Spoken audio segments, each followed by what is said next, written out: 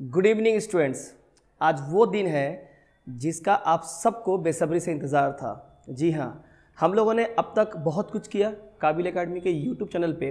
W B TET 2022 की परीक्षा जो 11 दिसंबर रविवार को होने वाली है, इसको लेके ऑलरेडी 96 क्लासेस हम लोगों ने दी।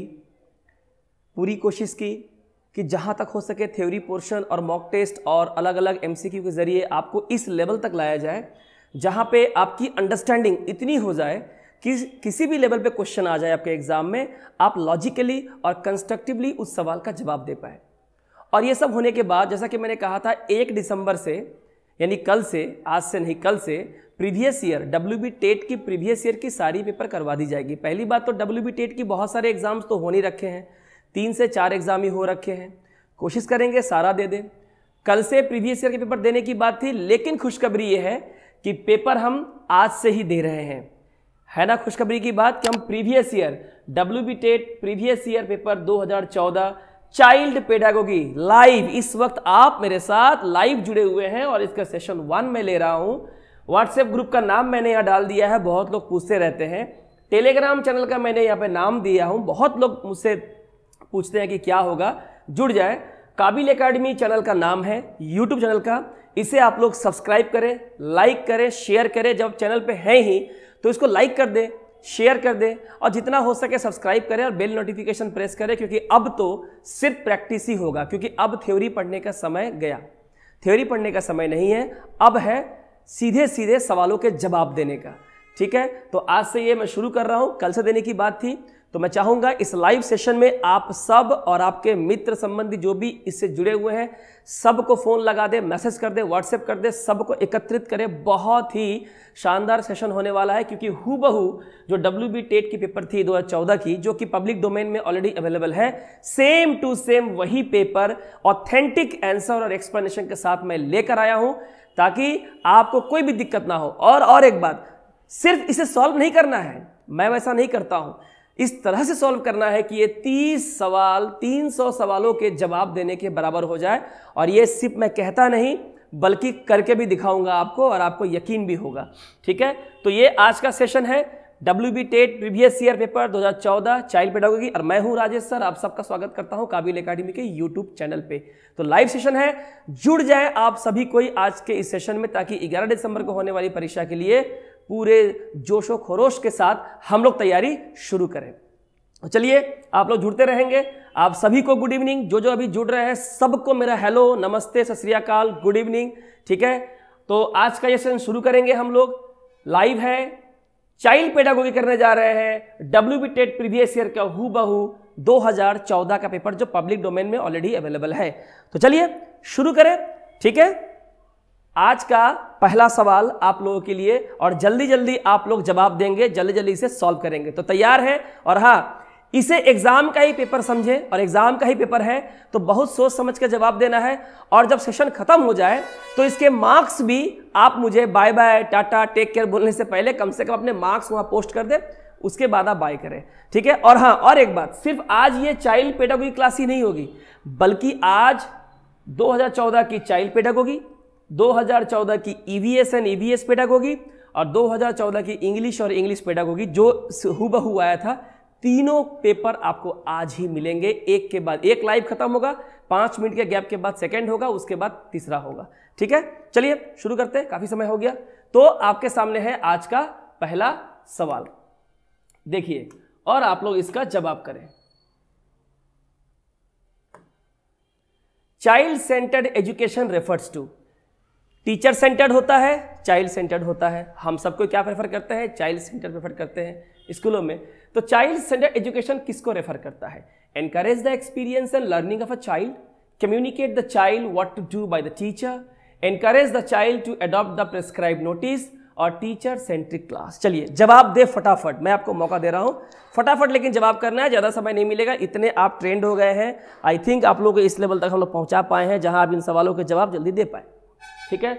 और देखिएगा सब कुछ क्लियर दिख रहा है। मैं साइड हो जा रहा हूँ। बहुत कोई शिकायत करते हैं कि मैं आ, सामने खड़ा रहता हूँ लेकिन मैं हट जाता हूँ फिर भी गलती हो जाती है तो मैं इस बात का ध्यान रखूँगा क्योंकि प्रीवियस ईयर के पेपर है। जवाब करें। तब तक मैं आपका जवाब भी देख लेता हूँ यहाँ पे। ठीक है? तो चाइल्ड सेंटर्ड जो एजुकेशन होता है जो कि लर्नर या बच्चों को ध्यान में रख के अपने स्कूल के करिकुलम को तैयार किया जाता है ताकि बच्चों पे ज़्यादा फोकस हो सके और एनसीएफ 2005 तो यही बात कहता है कि आपका सिलेबस और करिकुलम को करिकुलर एक्टिविटी और extra curricular activity learner learner based हो चाइल्ड सेंटर्ड हो टीचर सेंटर्ड नहीं, ठीक है? इसका सही जवाब होगा। इससे क्या होता है? Child centred education refers to encourage the experience and learning of a child यानी जो बच्चा होता है, उसके अनुभव और उसके अधिगम, यानी कि सीखना जो होता है, उसको हम लोग एनकरेज कर सके, उसको प्रेरित कर सके, उसको और जोश दे सके ताकि उसकी पढ़ाई उसके हिसाब से हो सके, चीज़ों को समझ सके। तो ये हमारा सही जवाब है। ठीक है? आगे बढ़ते हैं। अगला सवाल। लर्निंग असेसमेंट इज़ पर्पसफुल आपका जो लर्निंग असेसमेंट है, यानी अधिगम मूल्यांकन, यानी कि बच्चा क्या सीखता है ठीक है, वो पास होता है, फेल होता है, कितना अच्छा कितना बुरा करता है, ये पर्पसफुल हो सकता है। यदि it serves as a feedback for the students as well as the teachers it is done only once at the end of the year comparative evaluations are made to differentiate between the students achievements or it induces fear and stress among the students. हु बहु 2014 के paper को मैंने लिया है और हाँ इससे आपको ये भी समझ में आएगा, आज समझ में आ जाएगा कि एग्ज़ाम में पेपर कैसे आए थे। हालाँकि इस बार सिलेबस चेंज किया गया है, काफ़ी मॉडिफिकेशन की गई है, लेकिन इससे आपको अच्छा आइडिया हो जाएगा कि आपकी पढ़ाई किस ओर जा रही थी। बताए इसका आंसर क्या होगा? जल्दी करें।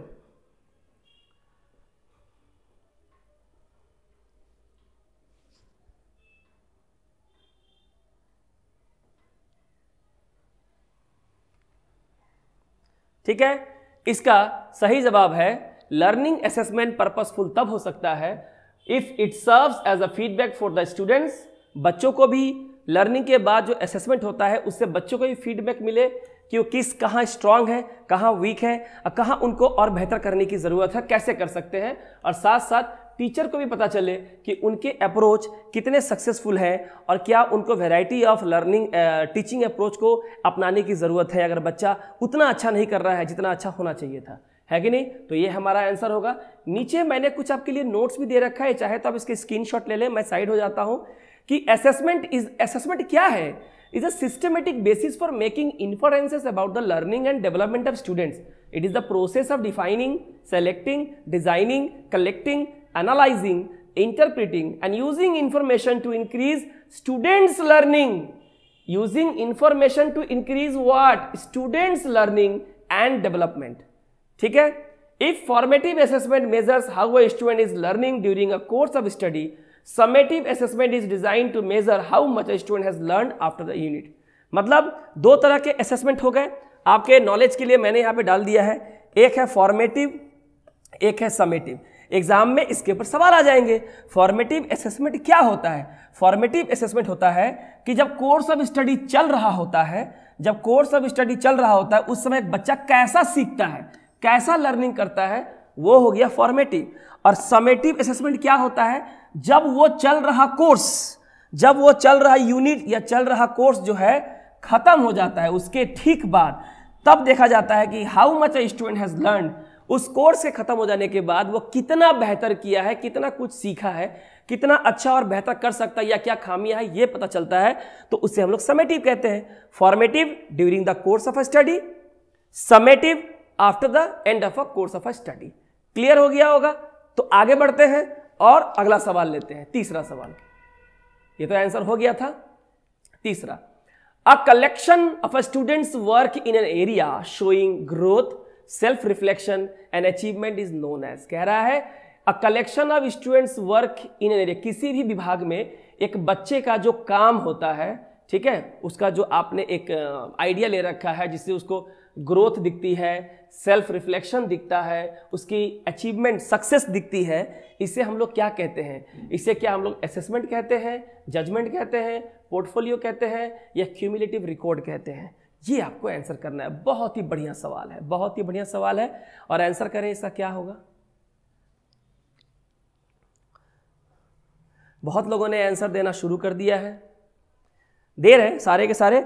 जितनी जल्दी हो सके आप लोग जुड़ जाएँ। देखिए प्रीवियस ईयर पेपर आप ही लोगों ने कहा था, हमने कहा था एक दिसंबर से देंगे, पर हम तो पहले ही लेके आ गए सरप्राइज़ था आप लोगों के लिए, है ना? ताकि आपको ऐसा ना लगे कि हम आपके साथ नहीं बिल्कुल आपके साथ हैं, कहाँ आपका साथ छोड़ने वाले हैं, है ना? जहाँ भागोगे वहीं जाएँगे, ठीक है?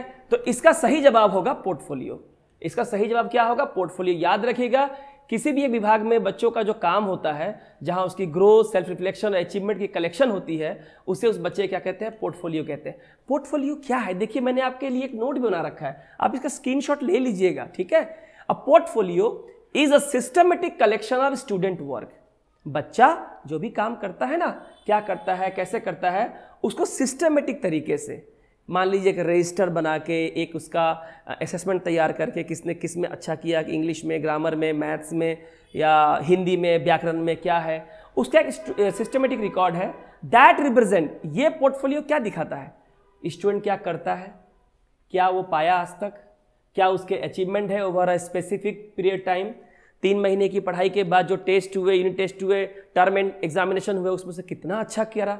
हाँ इन वन और more area the curriculum curriculum के एक एरिया या कई सारे एरिया में स्पोर्ट्स हो सकता है स्टडीज़ हो सकता है प्रोजेक्ट वर्क हो सकता है लेक्चर डेमोन्स्ट्रेशन कुछ भी हो सकता है, ठीक है? There are two main types of portfolios ठीक है? पोर्टफोलियो दो तरह के होते हैं। पोर्टफोलियो जो होते हैं, दो तरह के होते हैं। एक होता है शो कॉस्ट पोर्टफोलियो एक होता है डेवलपमेंट पोर्टफोलियो कहीं नहीं मिलेगा ऐसा नोट्स मैंने बना दिया है आपको, मैंने बना दिया है आपको, मैंने बना दिया है। ताकि आपको रेडीमेड ये नोट्स मिल जाए, आप इसके स्क्रीनशॉट ले लें। शो कॉस्ट पोर्टफोलियो क्या है? शो कॉस्ट पोर्टफोलियो क्या है?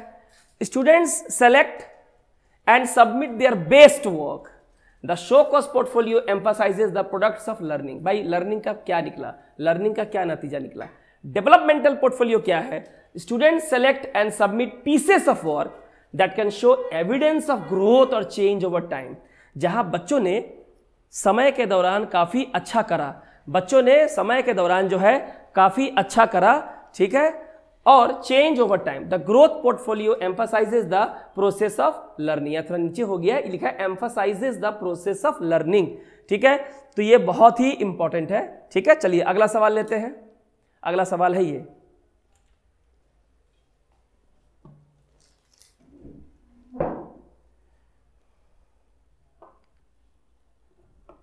करिए।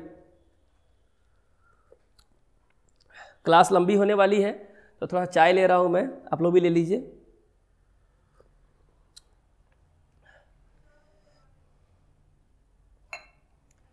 सवाल है, यहाँ पे आपको एजुकेशनल कैरेक्टरिस्टिक्स दिया हुआ है और इसको मेजर करने के डिवाइस दिए हुए हैं। और आपको इन्हें बताना है कौन सा सही मैच होगा इसमें, ठीक है? तीनों में से कोई एक ही है जो सही मैच हुआ है तो वो बताएँ आप कौन सा होगा।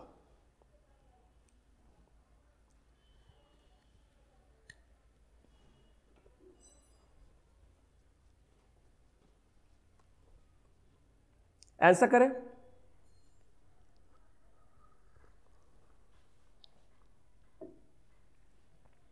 बहुत लोगों ने तो पता है कैसे उन लोगों ने किया होगा, ठीक है? इसका सही जवाब क्या है? लर्निंग असेसमेंट ये एजुकेशन की एक कैरेक्टरिस्टिक्स है और ये है उसका मेजरिंग डिवाइस लर्निंग को एसेस किया जाता है. Learning assessment is the correct answer ठीक है? चलिए, अगला सवाल देखते हैं। अच्छा अगला सवाल है sufficient number of question are set on the same concept in a test किसी एक टेस्ट में एक ही कॉन्सेप्ट पे, कोई कॉन्सेप्ट है, एक ही कॉन्सेप्ट पे ढेर सारे सवाल दिए गए हैं। इस टेस्ट को क्या बोलते हैं? बताएँ। ऑप्शन आपके पास है, ऑप्शन पढ़े।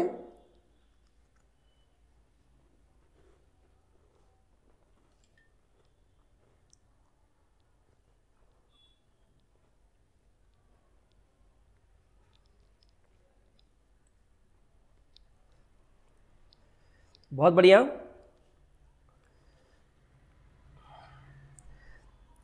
जल्दी से आप लाइव हो जाइए। फटाफट। तो आप लोगों ने सही आंसर दिया है। जब एक ही कॉन्सेप्ट पे क्वेश्चन पेपर में बहुत सारे सवाल दिए जाता है तो इस तरह के टेस्ट को क्या बोला जाता है? अचीवमेंट टेस्ट बोला जाता है। क्या बोला जाता है? अचीवमेंट टेस्ट अब देखें, मैंने क्या किया? आपके नॉलेज के लिए और बहुत सारे क्वेश्चन आपको सॉल्व करने होंगे। तो मैंने एक चार्ट बना दिया है। अचीवमेंट टेस्ट जो है, दो तरह के होते हैं। एक होता है स्टैंडर्डाइज टेस्ट और एक होता है टीचर मेड टेस्ट एक होता है स्टैंडर्डाइज टेस्ट और एक होता है teacher made test teacher made test को तीन भागों में बांटा जाता है। रिटर्न हो सकता है, ओरल हो सकता है, प्रैक्टिकल हो सकता है। स्कूल में होता है ना, written exam, oral exam, practical या प्रोजेक्ट वर्क। और जो रिटर्न एग्ज़ाम होता है, उसमें ऐसे टाइप क्वेश्चन हो सकते हैं, शॉर्ट आंसर टाइप क्वेश्चन हो सकते हैं और ऑब्जेक्टिव टाइप क्वेश्चन हो सकते हैं। ये बहुत इंपॉर्टेंट है। यहाँ जो मैंने आपको चार्ट शो किया है कि जो अचीवमेंट टेस्ट किस तरह के होते हैं, ये बहुत ही इंपॉर्टेंट है। सवाल पूछ लिया जाता है कि ऑब्जेक्टिव टाइप क्वेश्चन जो है, किसमें आता है? स्टैंडर्ड में या आपका टीचर में टेस्ट में? तो आपको जवाब देना पड़ेगा टीचर में टेस्ट का एक हिस्सा है। ठीक है? और यहाँ पे और भी तो इसका आंसर हो गया अचीवमेंट टेस्ट अचीवमेंट टेस्ट क्या है, देख लीजिए। Achievement test are universally use in the classroom सब जगह क्लासरूम में यूज़ किया जाता है। क्यों? Mainly to measure the knowledge and skills students learn in school और to determine the academic progress they have made over a period कि भैया अचीवमेंट टेस्ट इसलिए, नाम ही है अचीवमेंट कितना अचीव किए हो भाई? जितना समय, जितना महीना, जितना साल पढ़े हो, उसमें क्या अचीव किए हो? ये मेजर करने के लिए क्या नॉलेज क्या स्कूल स्किल एक स्टूडेंट ने अचीव किया है? ये देखने के लिए कि over a period of time बच्चे का एकेडमिक रिकॉर्ड कैसा है? एकेडमिक ट्रैक कैसा है? है ना? A sufficient number of questions दिए जाते हैं set on the same concept in a test this test should be adjusted for each subject level ये हो गया अचीवमेंट टेस्ट का। अब आते हैं यहाँ पे प्रोग्नोसिस टेस्ट जो कि यहाँ दिया हुआ है। क्या है ये? जान लीजिए एग्ज़ाम में सवाल आ सकता है आपका, है ना? A test which is designed to predict prognosis test is design to predict how well one is likely do in a language course कि कोई व्यक्ति लैंग्वेज के कोर्स में कितना अच्छा कर सकता है, किसमें? लैंग्वेज कोर्स में। डायग्नोस्टिक टेस्ट क्या है? Diagnostic test in education is use determine the extent of a students knowledge की एक छात्र का ज्ञान कहाँ तक है and to identify any potential learning gaps और क्या कोई अधिगम के समय, पढ़ने के समय क्या कोई गैप हो रखा है, ठीक है? तो ये बहुत ही इंपॉर्टेंट है। ये हुआ और तीसरा हुआ आपका देख लीजिए criterion reference type in elementary and secondary education criterion reference test are use कहाँ पे? एलिमेंट्री में और सेकेंडरी में। सवाल आ जाएगा लेकिन, ये टेस्ट होता है क्यों? To evaluate whether students have learn a specific body of knowledge और acquired a specific skill shed कि कोई नॉलेज उनको मिला है स्पेसिफिक सेट ऑफ़ किसी भी चीज़ के बारे में? मान लीजिए कि आप पाइथागोरस थ्योरम पढ़ा रहे हैं तो वो कॉन्सेप्ट में क्लियर हुआ कि नहीं हुआ? आप पहाड़ा पढ़ा रहे हैं तो पहाड़े कॉन्सेप्ट क्लियर हुआ कि नहीं हुआ? या कोई स्पेसिफिक स्किल से सीखा है कि नहीं सीखा है? ठीक है?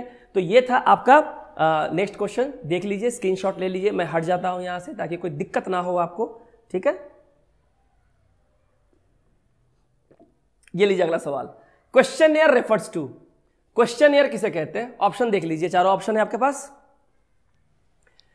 A device for securing answers to question by using a form which the respondent fills in himself a device for collecting question from many individuals a device for collecting response from class work a device for developing various question बताइए questionnaire ठीक है? Question year क्या होता है? हम, जैसे कि मैं जो सर्विस अभी as a as a development officer I am working for central government that is P S U तो वहाँ पे क्या होता है, जब हम लोग की कॉन्फ्रेंस होती है तो कॉन्फ्रेंस के शुरुआत कॉन्फ्रेंस के शुरुआत में जब एक दो सेशन हो जाते हैं तो हम लोग को पाँच छः पेज का एक क्वेश्चन ईयर दिया जाता है। जहाँ पे हम लोग कुछ क्वेश्चंस पूछे जाते हैं, जिनका जवाब हमको येस नो या नंबर्स हमको देने पड़ते हैं ज़ीरो ज़ीरो से लेकर टेन तक। और जब सेशन खत्म होता है, फिर से सेम चीज़ हमको सेम क्वेश्चन ईयर दोबारा दिया जाता है फ्रेश फिर हमारा रिस्पॉन्स लिया जाता है, ये देखने के लिए कि जब दूसरे सेशन में उन्होंने, मैंने मैंने क्या रैंकिंग दिया और जब सेशन खत्म हुआ तो उस समय मैंने क्या रैंकिंग दिया और दोनों में क्या अच्छा और क्या बुरा है जिससे कि वो फीडबैक मिल सके सामने वाले को। ठीक है? तो क्वेश्चन ईयर क्या होगा? आंसर होगा। एक device for securing answers to questions by using a form with the responses fills in himself जो मैंने कहा कि हमें भरना पड़ता है येस नो या हमें वन टू टेन हमको मार्किंग करनी पड़ती है। ठीक है ना? तो क्या होता है? Questionnaire a list of question बहुत सारे सवाल होते हैं that are answered by many people बहुत सारे लोग मिलकर जवाब देते हैं, ठीक है? मुझे जो क्वेश्चन मिला, बाकी जो पचास लोग हॉल में बैठे हैं, उन्हें भी वही क्वेश्चन मिला. A questionnaire is use to collect information about a particular subject किसी भी पर्टिकुलर सब्जेक्ट के ऊपर या कॉन्फ्रेंस है तो वहाँ जो भी वर्कशॉप हो रहा है, उसके ऊपर क्वेश्चन दे दिया गया कि आपको यह क्वेश्चन कितना अच्छा लगा या क्या इंप्रूवमेंट करने की ज़रूरत है, ठीक है? फीडबैक लेना. चलिए, आगे है. Which one of the following skills be stressed more for mentally under developed children जो मानसिक रूप से पूरी तरह से विकसित बच्चे नहीं हैं, ठीक है, उनके लिए आखिर वो कौन सी स्किल है जिसके ऊपर ज़्यादा ज़ोर देने की ज़रूरत है? ऐसे बच्चों के लिए जो बच्चे मेंटली अंडर डेवलप होते हैं। किस स्किल को ज़्यादा बेहतर करने की ज़रूरत है? Life skill adaptation skill communication skill numerical skill सोच समझ के बताइएगा इसका आंसर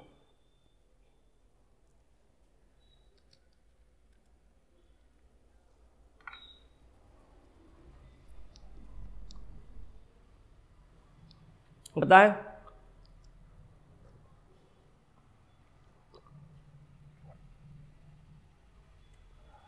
भाई देखो, क्लास बहुत लंबी होने वाली, इसे चाय की बहुत ज़रूरत है। आप लोग भी ले लें, क्लास लंबी होगी।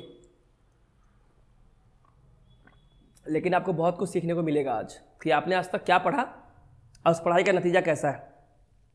सही आंसर क्या है? कम्युनिकेशन स्किल देखो, बात को समझो कम्युनिकेशन स्किल यानी कि, जो संवाद करने की जो प्रक्रिया है, बातचीत अपने भावनाओं को व्यक्त करने की और लेने की। एक मेंटली अंडर डेवलप्ड बच्चा जो होता है ना, या कोई यंगस्टर्स जो होता है विल गेट इंक्रीजिंगली एंक्शस बहुत ज़्यादा वो उत्सुक हो जाता है जब वो किसी के साथ कम्युनिकेट कर रहा होता है, क्योंकि वो मानसिक रूप से अपंग बोल सकते हैं डिजेबल दिव्यांग बोल सकते हैं। They have poor verbal communication skill उनका जो वर्बल कम्युनिकेशन स्किल है, जो बात करते हैं वो ओरली कुछ बोल के वो बहुत ही वीक होता है। Which makes it incredibly challenging to understand such keys और जहाँ पे उन, ऐसे बच्चों को समझना, उनकी भाषा को समझना, उनकी भावनाओं को समझना कि वो क्या एक्सप्रेस क्या कन्वे करना चाहती है, बहुत चैलेंजिंग हो जाता है। तो by providing them speech therapy अगर हम उन्हें स्पीच थेरेपी दें स्पीच थेरेपी देंगे, तभी तो कम्युनिकेशन स्किल उनका बढ़ेगा। We can strengthen their communication skill इसलिए उनको स्पीच थेरेपी बोलने की तकनीक लिप रीडिंग या कैसे चीज़ों को प्रोनाउंस करें, कैसे चीज़ों को ठीक से अपनी या अगर हम ठीक से बोल नहीं पाते तो कई तरह तरीके हैं जिससे हम अपनी भावनाओं को दूसरों को समझा सकते हैं, बता सकते हैं। ठीक है? तो इसलिए कम्युनिकेशन स्किल में बहुत ध्यान देने की ज़रूरत है। अगर हम ऐसे बच्चों की बात करते हैं जो मेंटली अंडर डेवलप्ड चिल्ड्रन है, ठीक है? अगला सवाल। A child knows four plus two is six but not four is equal to six minus two the child may be in the stage Jean पियाजे आपने पढ़ा? जीन पियाजे के चार चरण आपने पढ़े। तो एक बच्चे को पता है कि चार प्लस दो छः होता है, लेकिन जब इसको रिवर्स किया जाता है four is equal to six minus two ये बच्चे को नहीं पता होता। इसका मतलब बच्चा किस स्टेज में है? Sensory pre op, concrete, formal, किस स्टेज में है बताइए? ये तो अब, ये तो सारे आंसर देंगे, है ना? बताएँ इसका आंसर क्या होगा? बहुत बढ़िया सवाल है, बहुत बढ़िया सवाल है। ठीक है, देख लो आपका आंसर। हम्म। वाह। अच्छा पढ़ाई किया है आप लोगों ने, सही आंसर दे रहे हैं आप लोग तो। वेरी गुड वेरी गुड ठीक है, बहुत बढ़िया। सही आंसर क्या है? बच्चा किस किस स्टेज में होता है? प्री ऑपरेशन जहाँ पे वो रिवर्सबिलिटी जो है अपोजिट तरीके से वो नहीं सोच नहीं सोच पाता। ये मैंने पहले भी जीन पियाजे मैंने रतन सर का भी क्लासेस है हिंदी इंग्लिश में। मेरी भी जीन पियाजे पे इंग्लिश की क्लासेस है तो वहाँ आप देख लें, सब कुछ दिया हुआ है, ठीक है? और बहुत बढ़िया से पिक्टोरियल तरीके से समझाया गया है। आगे according to the social constructivist theory of Lev Vygotsky जो आपने पढ़ा है which of the following methods is appropriate for assessing student बच्चों का छात्रों का अगर हमें मूल्यांकन करना है, अगर हमें छात्रों का मूल्यांकन करना है तो ले बाइगोत्सी की सोशल कंस्ट्रक्टिविस्ट थ्योरी के हिसाब से इन चारों में से कौन सा मेथड अप्रोप्रिएट है, उचित है? ये आपको बताना है। पहला क्या दिया है? Standardise test fact based recall system questions objective multiple choice type questions और कोलाबोरेटिव प्रोजेक्ट्स ध्यान से पढ़िएगा सवाल को। बच्चों का मूल्यांकन करना है।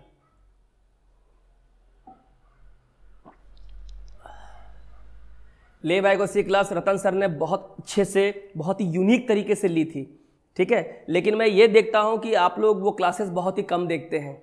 का नहीं, ऐसा नहीं है। रतन सर की क्लासेस बहुत ही अनुभवी क्लासेस है। बहुत पंद्रह सालों का उनका अनुभव है। ज़रूर देखिए उनका क्लास मैं खुद देखता हूँ उनका क्लास मुझे तो बहुत अच्छा लगता है। मैं मैं बहुत इंजॉय करता हूँ। वो क्या बोलते हैं ना, मुझे बड़ा मज़ा, वो वो क्या करते हैं कि पॉइंट टू पॉइंट पे पॉइंट बात करते हैं। यहाँ वहाँ की कोई बातें नहीं करते, कोई टाइम वेस्ट नहीं। बस पॉइंट टू पॉइंट बातें करते हैं। सही आंसर क्या होगा? कोलाबोरेटिव कोलाबोरेशन से बना है कोलाबोरेटिव प्रोजेक्ट यानी कि group work team work Vygotsky theory emphasises that social interactions can social समाज में एक दूसरे से मिलना जुलना ग्रुप वर्क टीम वर्क करना can facilitate learners progression to more advance ways of thinking and problem solving जब आप ग्रुप वर्क टीम वर्क में काम करते हैं तो बच्चों की जो प्रोग्रेस होती है काफ़ी बेहतर होती है और उनकी थिंकिंग और प्रॉब्लम सॉल्विंग एबिलिटी बढ़ जाती है क्योंकि तब आप ग्रुप के साथ काम करते हैं जहाँ पे आप अपने विचारों को या दूसरे विचारों को ले पाते हैं, दे पाते हैं, समझ पाते हैं कि चीज़ें कैसे होती है स्कैफोल्डिंग होता है वहाँ पे, है ना? तो कोलाबोरेटिव प्रोजेक्ट्स है क्या? Are best for assessing student ये बेस्ट मेथड है बच्चों को एसेस करने के लिए। The zone of proximal development जो पढ़ा आपने जेड है ना? ये जो हाइपोथेसिस लबेगस की serves as the foundation for collaborative learning जहाँ पे कोलाबोरेटिव लर्निंग का जो फाउंडेशन है, जो नींव है, वो कहाँ से रखी गई थी? जोन ऑफ़ प्रॉक्सिमल डेवलपमेंट ठीक है? आगे देखते हैं। In the case of learning law of readiness आपको पता होगा, ये तो मैंने ही बताया था लॉ ऑफ़ रेडीनेस पढ़ने की आतुरता, अगर हम सिंपल भाषा में कहें कॉरेस्पॉन्ड्स टू ये किसे कॉरेस्पॉन्ड करता है? स्कीमा मोटिवेशन स्टिमुलस रिस्पॉन्स बताएँ इसका जवाब क्या होगा? जल्दी करें इसका आंसर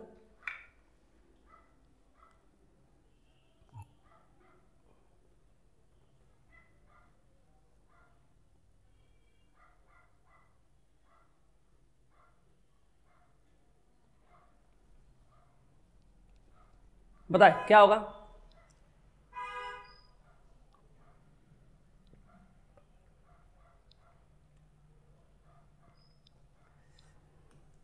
सही जवाब होगा मोटिवेशन जी हाँ.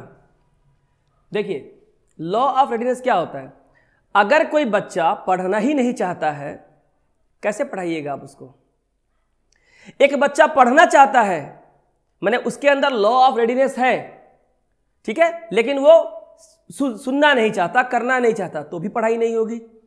एक बच्चे के अंदर लॉ ऑफ़ रेडीनेस नहीं है, आप पढ़ाना चाहते हैं तो भी पढ़ाई नहीं होगी। यानी उसको मोटिवेशन की बहुत ज़रूरत है। Law which state that learning is dependent upon the learners readiness to act लिखिए लर्निंग जो है वो डिपेंड करता है लर्नर के रेडीनेस पे। ठीक है? अब आप जो है मेरे लाइफ में आना नहीं चाहते तो मैं कैसे लेके आऊँगा आपको? आपके अंदर वो रेडीनेस होना चाहिए ना पढ़ने के लिए।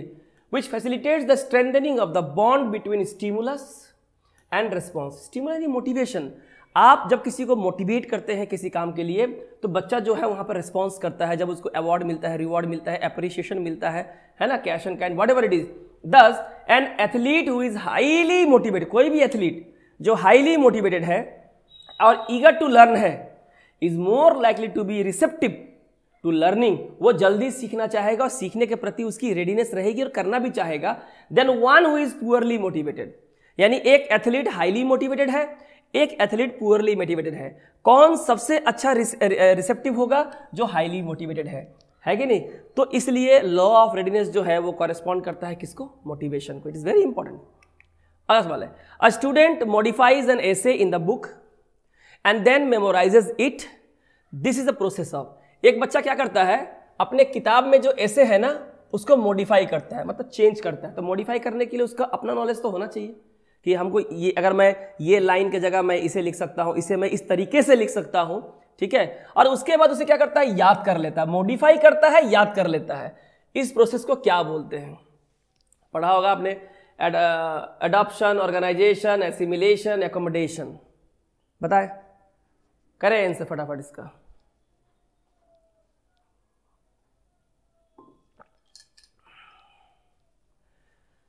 बिल्कुल सही? ये क्या है आपका? एसिमिलेशन यानी आत्मसात कर लेना इंटरनलाइज कर लेना अपने अंदर. Through assimilation we take in new information modification क्या होता है? न्यू इंफॉर्मेशन को उसके अंदर इंक्लूड करना.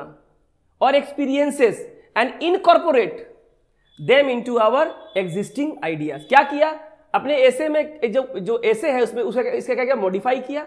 नया इंफॉर्मेशन पुट किया. और उसे क्या कर लिया? आत्मसात कर लिया मेमोराइज कर लिया। तो ये सिमुलेशन का प्रोसेस है। चीज़ों को समझना पड़ेगा। दिक्कत कुछ नहीं है एग्ज़ाम में। तीस में तीस मिलेंगे गारंटी है इस बात की, काबिल अकाडमी की। A teacher always help the students so that they can relate the knowledge acquired in one subject with another subject it help एक टीचर ना, शिक्षक, हमेशा अपने बच्चों को मदद करता है कि उन्होंने किसी भी सब्जेक्ट में, है ना पहले जो उसको नॉलेज मिला है, उसको नए सब्जेक्ट के साथ एनदर सब्जेक्ट उसको रिलेट कर पाए। यानी जो प्रायर नॉलेज है, जो प्रीवियस नॉलेज है, ठीक है, उसको करंट सब्जेक्ट या टॉपिक पे अगर उसका रिलेशन है तो एक टीचर इसमें उसकी मदद करता है कैसे प्रीवियस नॉलेज को यहाँ पे हम लोग अप्लाई करेंगे। अगर आपने एडिशन सब्ट्रैक्शन मल्टीप्लिकेशन डिवीज़न सीख लिया है तो इस प्रीवियस नॉलेज को सिंप्लीफिकेशन के प्रोसेस में कैसे अप्लाई करेंगे बॉडमास के नियम के अनुसार। ये टीचर इसे मदद करता है। तो भैया कह रहा है कि इट हेल्प्स इन क्या हमें हेल्प करता है? इंडिविजुअल अगर ये हेल्प करता है तो इसका जो भी आंसर होगा पॉजिटिव होगा। ये तो अच्छी चीज़ के बारे में, अच्छी चीज़ क्या में हेल्प करती है? किसी पॉजिटिव बात में हेल्प करती है हेल्प करती होगी। जो पॉजिटिव होगा, वही करेंगे। Individual difference learners independence distribution of reinforcer correlate and transfer of knowledge बताए इसका आंसर क्या होगा? करें।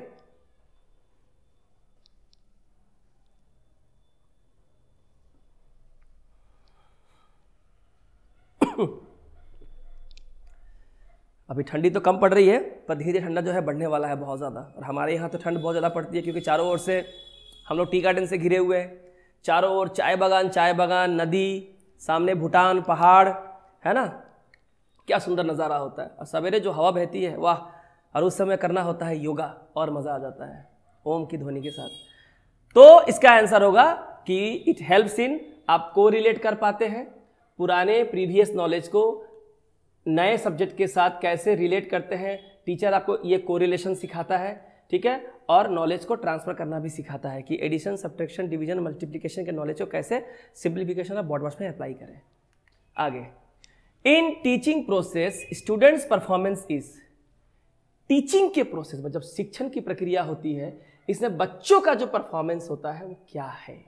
डिपेंडेंट वेरिएबल है इनडिपेंडेंट वेरिएबल है इंटरवीनिंग वेरिएबल है, कंट्रोल वेरिएबल है।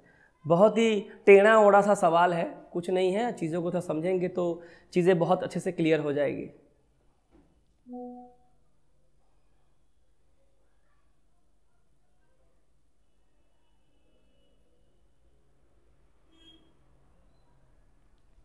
करें इसका आंसर। इसका सही आंसर होगा डिपेंडेंट वेरिएबल। क्या होगा इसका आंसर?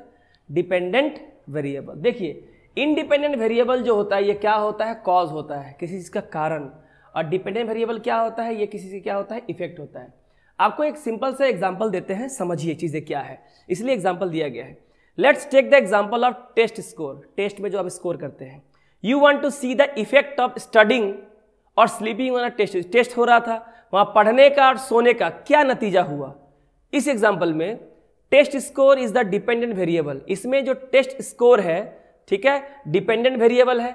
स्टडिंग और sleeping is the independent variable because these factors impact how much student scores on the test. एक जो टेस्ट का स्कोर है, जो टेस्ट का स्कोर है, वो तो इफ़ेक्ट हुआ ना। कितना लाए आप? तो तो इफ़ेक्ट हुआ। कारण क्या था? अगर आपने पढ़ा है तो आपका स्कोर हाई है। अगर आप सोए हैं तो आप रोए हैं। क्योंकि ये दोनों जो है डिसाइड करता है कि आपका टेस्ट में स्कोर कितना होगा। तो ये जो, ये क्या है? कॉज है। ये कारण होते हैं कि टेस्ट में आपका स्कोर कितना आता है। इसे कहते हैं इंडिपेंडेंट वेरिएबल ठीक है? और टेस्ट में कितना आया, वो उसका इफ़ेक्ट हो गया। इसलिए मैंने इस पिक्चर के माध्यम से आपको समझाया कि इंडिपेंडेंट वेरिएबल कॉज है और डिपेंडेंट वेरिएबल क्या है? इफ़ेक्ट है। बताइए, कितनी मज़ेदार चीज़ है। मुझे लगता है कि एक बार में क्लियर हो गया होगा कि इतने टेढ़े टेढ़े ये वर्ड है, जल्दी किसी बच्चों को समझ में ही नहीं आता अरे, कैसे समझ में नहीं आएगा? काबिल अकेडमी के स्टूडेंट है आप, काबिल बनना है सबको। दो, the calculator gives the result of multiplication easily calculator में आप गुना भाग करें तो बहुत आसानी से मल्टीप्लीकेशन मिल जाता है। करो, है ना? We teach children to calculate manually तो हम बच्चों को खुद से करने के लिए क्यों बोलते हैं? उन्हें हम कैलकुलेटर यूज़ करने से मना करते हैं? क्यों? मेंटेन ट्रेडिशन ऑफ़ टीचिंग भाई टीचिंग की परंपरा है, परंपरा प्रतिष्ठा। Verify the result of multiplication develop creativity और डेवलप थिंकिंग एंड रीजनिंग बोलता है ट्रेडिशन अरे, मोहब्बत की फ़िल्म थोड़े ना है, अमिताभ बच्चन का गुरुकुल। परंपरा, प्रतिष्ठा और एक क्या था पता नहीं। तीन स्तंभ। बताएँ, क्यों कहते हैं बच्चों को कि भाई आप मेंटली ये सब कैलकुलेशन करें? ये हम बच्चों से क्यों करवाते हैं? कुछ तो कारण होगा। अब मैंने पहले कहा, जो भी सवालों का जवाब दे, खुद को शिक्षक समझ के जवाब दे तो जवाब अच्छे से आएगा। चलिए बताएँ इसका आंसर क्या होगा। देखो, बच्चा दिमाग में सोच भी रहा है, वरना दिमाग का तो दही हो जाएगा, नहीं सोचोगे तो। क्या होता है? इससे थिंकिंग और रीजनिंग रीजनिंग माने क्या? रीजनिंग के मतलब क्या होता है? तर्क देना। लॉजिक क्यों होगा? चौहत्तर इंटू बारह क्यों होगा? क्या होगा? जो भी होगा, क्यों हुआ? है ना? पचास इंटू तेरह का डिवाइड कितना हो जाएगा? तो ये थिंकिंग एबिलिटी बढ़ती है रीजनिंग एबिलिटी बढ़ती है, बच्चा जो है कारण बता पड़ता है क्रिटिकल थिंकिंग कर पाता है है ना? उसका दिमाग तेज हो पाता है चीज़ों को और मैनिपुलेट कर पाता है, इसलिए करते हैं, ठीक है? The stages of five E as per the five E teaching learning model are क्या है भैया ये? आप में से किसी ने यूट्यूब पे कमेंट किया था कि, सर फाइव ई का जो मॉडल है, करवा दीजिए। देखिए, मैंने यहाँ करवा दिया है। क्वेश्चन में ही करवा दिया है। ठीक है? देख लीजिए। तो फाइव ई के मॉडल में सीरियली क्या आता है? यहाँ तो दिया है evaluation exploration elaboration explanation engagement correct sequence क्या होगा? ये पूछा है आपसे। बताएँ। पूछ लेगा ना एग्ज़ाम में कि फाइव ई के मॉडल में तीन नंबर पे कौन आता है, दो नंबर पे कौन आता है, पाँच नंबर पे कौन आता है? पहले स्थान पे कौन आता है भाई?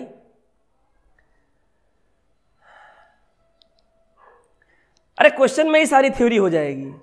अलग से क्यों पढ़ने की ज़रूरत है? बताएँ।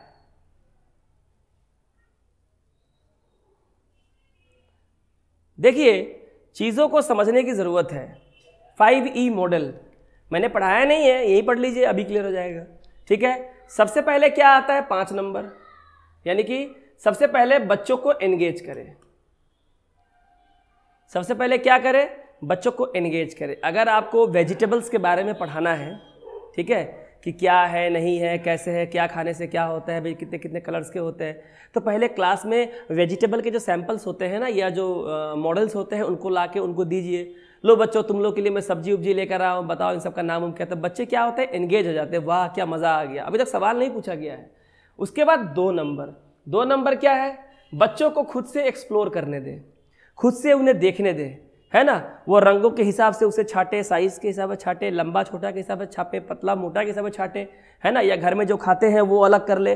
तो बच्चा क्या होता है ना एक्सप्लोर करना स्टार्ट कर देता है खुद से। मैंने लेट हीम और हर हा डू तो लर्निंग बाई डूइंग खुद करते हैं। इसके बाद क्या है? चार नंबर है। भाई चार नंबर क्या है? एक्सप्लानेशन बच्चे क्या करते हैं? उसके बाद चीज़ों को एक्सप्लेन कर पाते हैं कि आ, सर ये जो है गाजर है ये ये है इसमें ये मिलता है इसमें ये मिलता है है ना? ये इस तरह से। उसके बाद क्या है? उसके बाद तीन नंबर है। तीन नंबर क्या है? एलाबोरेशन है ना? चीज़ों को और एलाबोरेट कर पाते हैं अपनी थिंकिंग दे पाते हैं रीजनिंग दे पाते हैं सोच पाते हैं तर्क दे पाते हैं। ठीक है? और लास्ट में क्या है? एवेल्युएशन एवेल्युएशन का मतलब है सीधी सीधी बात जज करना, यानी कि पास हुए कि फेल हुए। क्या हुए? पास हुए कि फेल हुए। कितना अच्छा कितना बुरा किए। कितना सक्सेस कितना फेलियर हुआ। फेलियर तो कुछ होता ही नहीं है। सक्सेस होता है या सक्सेस नहीं होता है?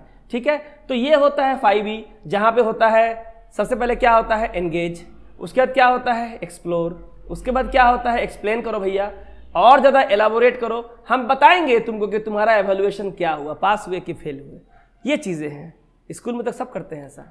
The teaching of geography and history of Murshidabad may be meaningful quick and interesting if conducted together by an approach of आखिर किस अप्रोच से मुर्शिदाबाद की जोग्राफी और हिस्ट्री दोनों पढ़ाई जाए, जिससे वो मीनिंगफुल भी हो, जल्दी भी हो जाए और काफ़ी मनोरंजन भी हो जाए?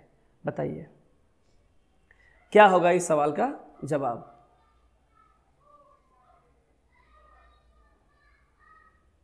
जवाब करें। इसका सही जवाब होगा कोरिलेशन कोरिलेशन माने क्या होता है? मुर्शिदाबाद की अगर ज्योग्राफी और हिस्ट्री आप पढ़ा रहे हैं तो आप नहीं जानते किसी जगह की भौगोलिक स्थिति वहाँ के इतिहास को कैसे प्रभावित करती है? या वहाँ का इतिहास, वहाँ के भूगोल के बारे में क्या कहता है कि या वहाँ रहने वाले लोगों ने जो प्राचीन समय से जो राजा महाराजा आए थे, कैसे वहाँ के इतिहास को बदला, कैसे वहाँ के जोग्राफी को चेंज किया बाउंड्री बदली, सीमाएँ बदली, राज्य आए, राज्य गए, है ना? सीमा बड़ी छोटी हुई। तो ये चीज़ें होती हैं को रिलेशन करने से कि जब हिस्ट्री को जोग्राफी के साथ जोग्राफी को हिस्ट्री के साथ जोड़ पाते हैं। आगे। Which one of the following characteristics is not related to the organization of co-curricular activities in school? यानी स्कूल में आप जो को करिकुलर एक्टिविटी को संगठित करते हैं ऑर्गेनाइज करते हैं, ठीक है? इनमें से कौन ऐसा कैरेक्टरिस्टिक्स है, गुण इनका जो नहीं है, जो इस इस बात से जुड़ा हुआ नहीं है organization of co curricular activities in school जुड़ा हुआ नहीं है। बताएँ एजुकेशनली रिलेवेंट यानी अगर नहीं है ये तो अच्छी चीज़ें हैं ना को करिकुलर एक्टिविटी स्कूलों में करना अच्छी बातें हैं। तो इनमें से कौन जुड़ा हुआ नहीं है तो कौन सी बात जुड़ी हुई नहीं होगी? जो बुरी होगी, क्या होगी? जो बैड होगी, जो नेगेटिव कुछ बता रहा होगा। बताएँ इसका आंसर मैंने बता दिया, क्या होगा? चले बताएँ इसका आंसर क्या होगा।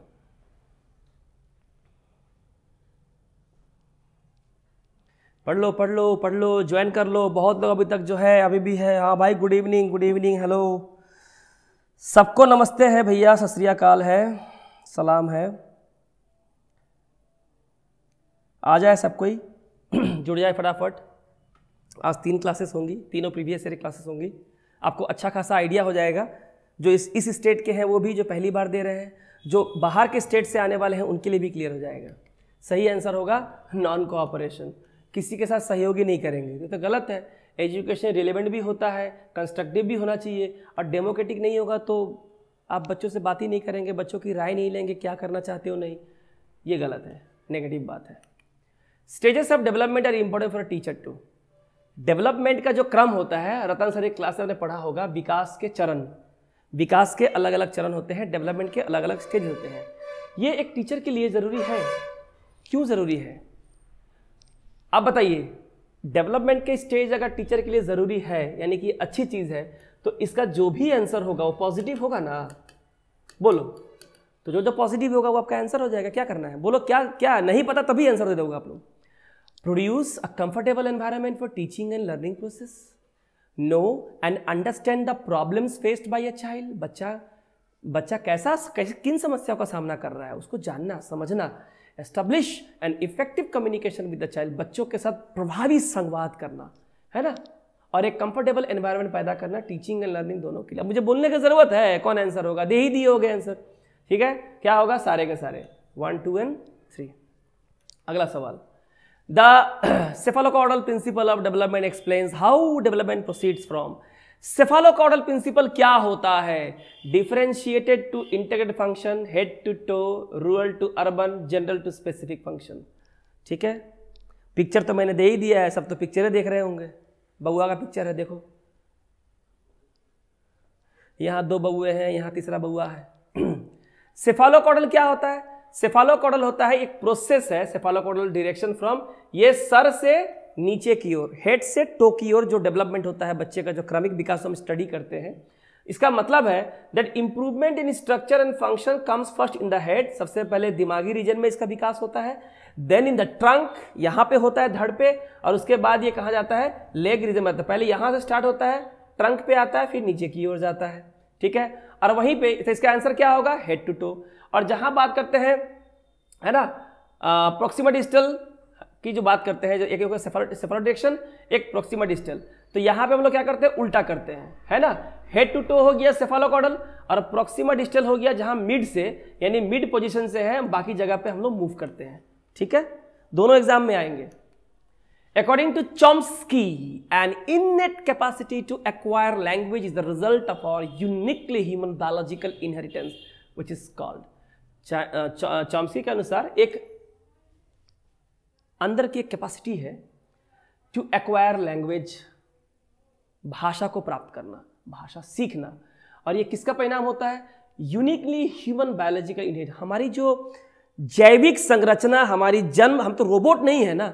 हमारे अंदर हार्ड मांस, नस सेल्स टिश्यूज से हम बने हुए हैं। बायोलॉजिकली हम पैदा हुए हैं। हमारे माता पिता ने हमें पैदा किया है। तो उनका जीन डीएनए हमें बायोलॉजिकली हमें मिला है। We are the biological products है ना? तो इसके कारण चूँकि हमारा इनहेरिटेंस बहुत ही बायोलॉजिकल है, हम भाषा को तुरंत प्राप्त कर लेते हैं तो इसे क्या कहते हैं? चॉम्स्की बताएँ।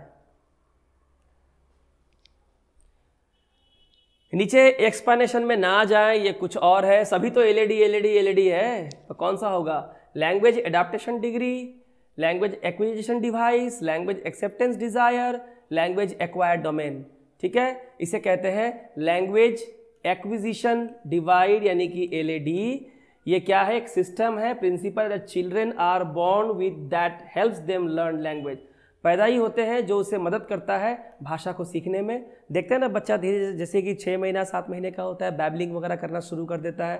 ठीक है? बैबलिंग गिगलिंग करता है। Accounts for order in which children learn structure and the mistakes they make as they learn भाषा सीखता है, गलतियाँ करता है, फिर सीखता है, गलतियाँ करता है, फिर सीखता है। ठीक है? आगे। Which of the following is the best suited for the emotional development of children ठीक है? तो इनमें से कौन सी है जो एक बच्चे की भावनात्मक विकास के लिए सबसे सुइटेबल है? बताएँ। बच्चों को इमोशनली डेवलप करना है। अंदर से फीलिंग इफ़ेक्टिव डोमेन की बात कर रहा है। फीलिंग तो भाई जो फीलिंग होता है अप्रिसिएशन होता है प्रेज होता है, प्रशंसा, प्रेम, पुरस्कार, भावना, जज्बात इफ़ेक्टिव डोमेन है। कॉग्नेटिव क्या होता है? सोचना ब्लूम्स जो पढ़ाएँगे हम आगे। और एक होता है साइको मोटर हाथ पाँव चलाना, ठीक है? Democratic classroom environment no involve teachers is as it is the task of the parents controlled classroom environment authoritarian classroom environment बापरे आंसर क्या होगा? आंसर होगा आपका डेमोक्रेटिक क्लासरूम एनवायरनमेंट डेमोक्रेटिक मैंने लोकतांत्रिक जहाँ बच्चों से भी पूछा जाता है कि आपको क्या अच्छा लगता है क्या बुरा लगता है क्या सही क्या गलत है है कि नहीं? क्या पसंद क्या नापसंद है? A democratic classroom engages students in living democratically by promoting values such as inclusion, voice, representation भी लीजिए participate भी कराइए। Inclusion माने चिल्ड्रेन विथ स्पेशल नीड भी वहाँ पढ़ सकते हैं उनकी भी आवाज़ सुनी जाए उनका भी रिप्रेजेंटेशन लिया जाए पार्टिसिपेशन करवाया जाए। Inclusion of children with special needs जो स्पेशल नीड वाले होते हैं, जिसे हम लोग एस डब्ल्यू एस एन कहते हैं S W C N S W C N क्या कह रहा हूँ मैं? C W S N sorry children with special needs भाई करेक्शन कर लेना, ठीक है? तो in inclusion of children with special needs क्या है? देखें और इसका आंसर बता इसके बारे में तो कितनी बार हम लोगों ने चर्चा भी करी है।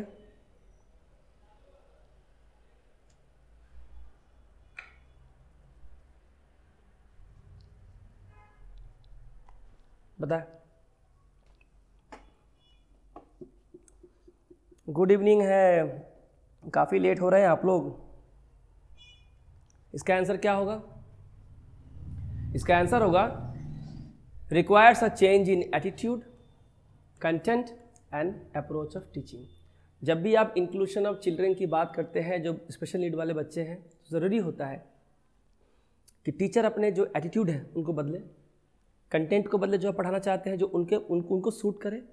और आपका जो अप्रोच है वो काफ़ी डाइवर्स होना चाहिए ताकि बच्चे जो स्पेशल नीड वाले बच्चे हैं कंफर्टेबल फील कर सके सीख पाए समझ पाए। With reference to the gifted learners acceleration का मतलब क्या हो रहा है? जहाँ तक गिफ्टेड बच्चों का सवाल है एक्सेलरेशन क्या है? कोई मिल गया फ़िल्म देखा होगा आप लोग ऋतिक रोशन का है ना? तो कोई मिल गया फ़िल्म में मुझे याद आ जाता है मैं, मैं फ़िल्म मैं हर एक क्वेश्चंस को फ़िल्मों के साथ रिलेट करके देखता हूँ क्योंकि मैंने मैं विश्वास करता हूँ कि चीज़ें और अच्छी क्लियर हो जाती है। कोई मिल गया फ़िल्म में ऋतिक रोशन बहुत ही एक मैंने क्या कह बुद्धिहीन रहता है जो जब उसको एलियन मिलता है तो उसको अचानक से बहुत सारी उसके दिमाग का विकास कॉग्रेटिव डेवलपमेंट हो जाता है। इतना इतना इतना डेवलपमेंट होता है कि वो जीनियस हो जाता है। और आ, सीधे क्लास फाइव या सिक्स से आ, वहाँ का प्रिंसिपल जो है उसे क्लास टेंथ या ट्वेल्थ क्या है या टेंथ ही है टेंथ पे प्रमोट कर देता है। ठीक है? तो ये एक ही बार बच्चों को उनके परफॉर्मेंस के हिसाब से प्रमोट कर देना हायर ग्रेड पे एक्सेलरेशन कहलाता है। ठीक है?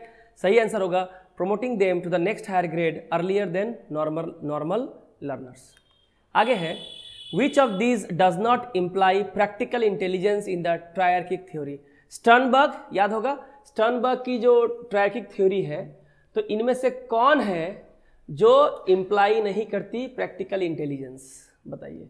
यहाँ आपको दिया हुआ है एनालिटिक है प्रैक्टिकल है क्रिएटिव है।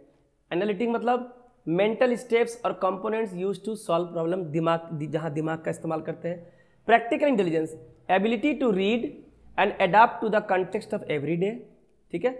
दिन प्रतिदिन में जो भी सवालों के जवाब होते हैं, आप दे पाते हैं। क्रिएटिव क्या होता है? Use of experiences in ways and foster insight जहाँ आप जीवन के अनुभव का इस्तेमाल करते हैं प्रॉब्लम को सॉल्व करने के लिए। बताएँ आंसर करें।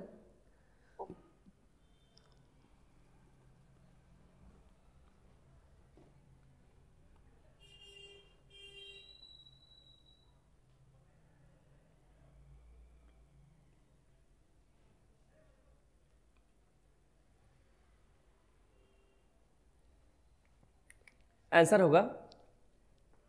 Thinking practically about oneself only ये इंप्लाई नहीं करता प्रैक्टिकल इंटेलिजेंस को। देखिए प्रैक्टिकल इंटेलिजेंस क्या है सिंपल भाषा में? Street smart you find solution that work in your everyday life by applying knowledge based on experience आपके पास जो अनुभव है, कहीं भी गए, सब्ज़ी दुकान पे गए, ठेले पे गए, कुछ मार्केटिंग करने गए शॉपिंग करने गए, अपने अनुभव से सब कुछ मोल भाव, हिसाब किताब सब कुछ कर लेते हैं। ठीक है? Componential it focuses on academic problems and comprehension स्कूलों में चीज़ें कैसे सीखते हैं, कैसे समझते हैं it is also known as analytical intelligence तो कॉम्पोनेंशियल इंटेलिजेंस को एनालिटिकल इंटेलिजेंस भी कहते हैं। एक्सपीरियंशियल नाम ही है experience it is imaginative and innovative problem solving it is also known as creative intelligence तो ये एग्ज़ाम पूछेगा एक्सपीरियंशियल को क्रिएटिव भी कहते हैं कॉम्पोनेंशियल को हम लोग क्या कहते हैं एनालिटिकल भी कहते हैं। प्रैक्टिकल इंटेलिजेंस मतलब स्ट्रीट स्मार्ट तो सवाल आ जाएगा कि स्ट्रीट स्मार्ट कौन सा इंटेलिजेंस का एग्ज़ाम्पल है? तो आप कहेंगे प्रैक्टिकल इंटेलिजेंस आगे देखिए। सम स्टेटमेंट अबाउट चिल्ड्रन यहाँ दिए हुए हैं। बच्चों के बारे में कुछ लिखा हुआ है। बताना है कौन सी बातें सही है। अगर सही है सही है तो पॉजिटिव बातें ही सही होंगी। बताएँ। मैं तो बता ही दिया आंसर आप लोगों को।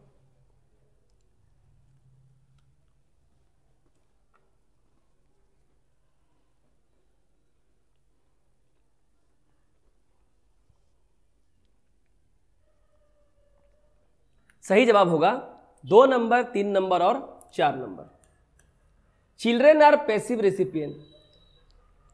ठेठ भाषाएँ बोले तो बच्चे ना कुछ सीखते हैं, ना समझते हैं। एक्टिव नहीं रहते पैसिव रहते हैं, कह रहे हैं। कौन बोलता है? Children are problem solver? हाँ। Children are interested in a scientific investigation? हाँ क्यों नहीं भाई? इतनी इतनी जिज्ञासा होती है कि ज़मीन खोद देते हैं वो लोग तो। Children are active explorers of the environment बात सही है। छोड़ दीजिए उनको जंगल में। आसपास के गार्डन में।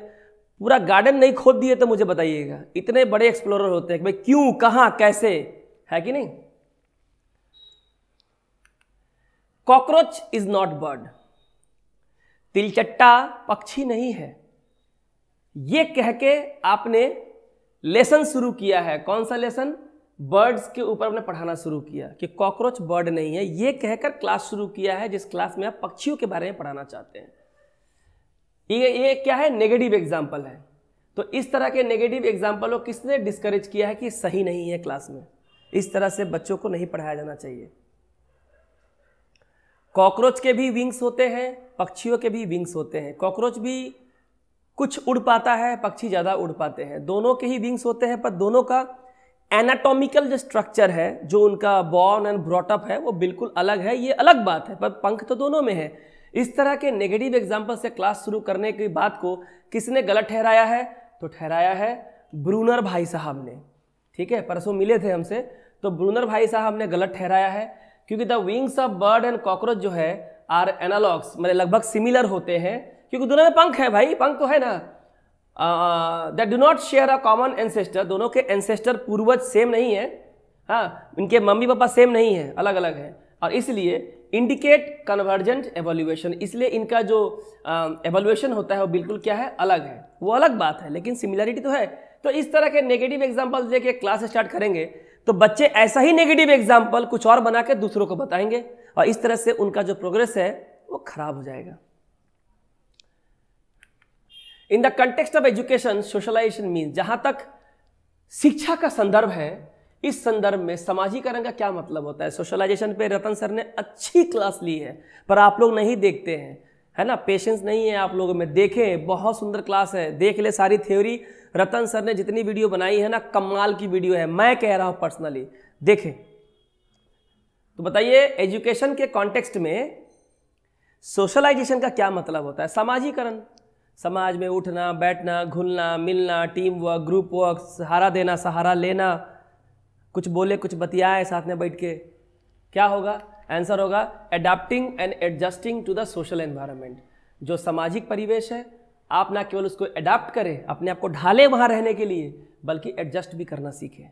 हम लोग पढ़ने जाते हैं ना बाहर एच एस पास हो गए पापा ने भेज दिया पुणे कलकत्ता दिल्ली तो वहाँ तो नया एनवायरनमेंट है। अब वहाँ अगर सोशली आप उस एनवायरनमेंट को एक्सेप्ट नहीं करोगे तो क्या होगा? आप ना रह, रह नहीं पाओगे वहाँ पे। ठीक है? अब जैसे हमारे देश के प्रधानमंत्री जी ने चीता छोड़ा, आप लोगों को तो पता होगा। तो चीता तो भाई अफ्रीका ना कहाँ से आया और सीधे इंडिया में आ गया। वहाँ का जंगल यहाँ का जंगल, अब चीता बोलेगा, हम काहे रहेगा यहाँ पे? हम तो यहाँ नहीं रहे हमको फैसिलिटी चाहिए, हमको टीवी चाहिए, हमको वॉशिंग मशीन चाहिए।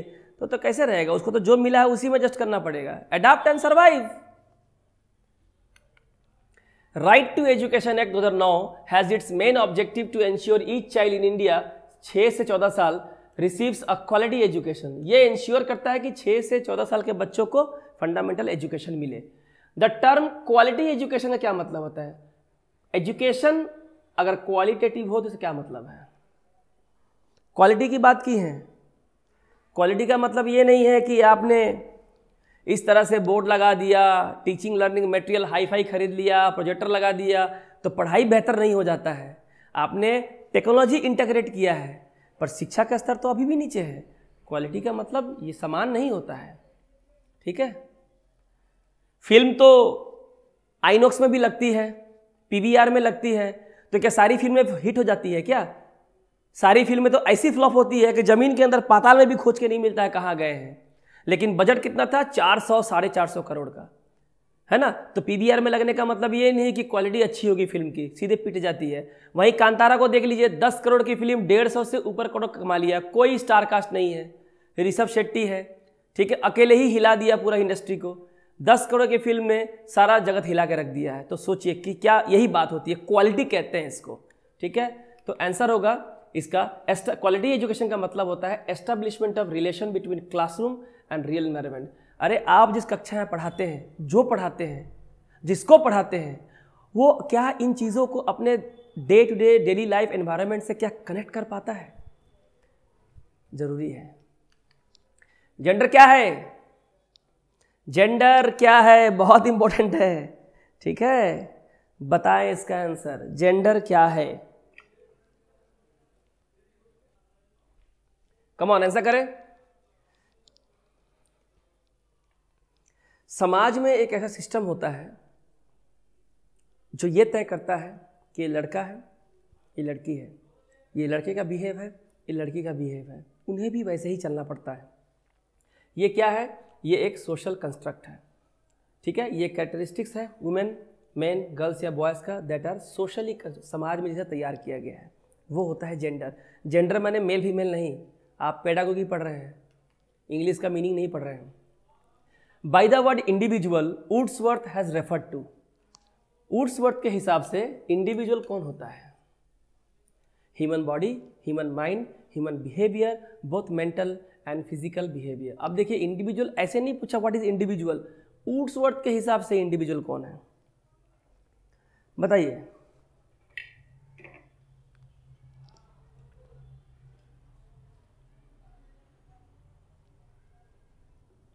करें।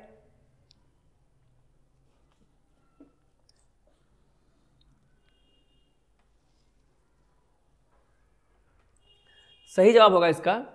Both mental process and physical behaviour आपका दिमागी प्रक्रिया और आपका व्यवहारिक व्यवहार। ऊर्सवत कहते हैं कि हम बोथ बिहेवियर और consciousness mental process were the subject matter of psychology ठीक है? तो ये था आपका आज का सेशन ठीक है? जहाँ हमने जहाँ हमने क्या पढ़ा? जहाँ हमने W B TET previous year paper 2014 में आए हुए एग्जैक्ट जो चाइल्ड पेडागोगी के सवाल है ठीक है? एग्जैक्ट जो चाइल्ड पेडागोगी के सवाल है उसका हमने पहला सेशन किया लाइव किया प्रीवियस ईयर का पेपर हमने सॉल्व किया। मुझे मैं ये मान के चलता हूँ कि मैंने आ, पूरे जस्टिफिकेशन के साथ कोशिश की मेहनत की कि आपको हर एक सवाल का जवाब अच्छा मिले। ये सिर्फ़ तीस क्वेश्चन सॉल्व करना हमारा पर्पज़ नहीं है तो आ चुके हैं आपने सॉल्व किए भी होंगे। पर ये तीस सवाल सौ सवालों के बराबर हो जाए, ये मैंने कोशिश की यहाँ करने की। कहाँ तक सफल हुआ, ये तो आप मुझे बताएँ, ठीक है? और क्या करने की ज़रूरत है, ये भी बताएँ। बहुत लोग व्हाट्सएप से जुड़ना चाहते हैं, ठीक है? इसका नाम है ये वाला, ये हाइफेन है के ए डब्ल्यू बी टेट दो हज़ार बाईस बैच बीच में हाइफेन है। टेलीग्राम चैनल का नाम है W B TET and C TET Kabil academy ये टाइप करेंगे, मिल जाएगा। काबिल अकाडमी है चैनल का नाम। आप लोग ज़रूर लाइक कर दें, ठीक है? और सब्सक्राइब कर ले, शेयर करें। आपकी मॉरल रिस्पॉन्सिबिलिटी है कि अच्छी चीज़ें सब तरफ़ फैलनी चाहिए, बुरी चीज़ों को फैलने से रोक दें, ठीक है? तो आज का ये सेशन यहीं तक। तीन सेशन होंगे, तीन वीडियोस होंगे चाइल्ड पेडागोगी हो गया, इसके बाद हम लोग करने जाएँगे 2014 के प्रीवियस पेपर के ईवीएस एंड ईवीएस पेडागोगी आपसे ज़रूर मुलाकात होगी। बने रहिए इस चैनल के साथ और रखिए अपना पूरा ख्याल। Thank you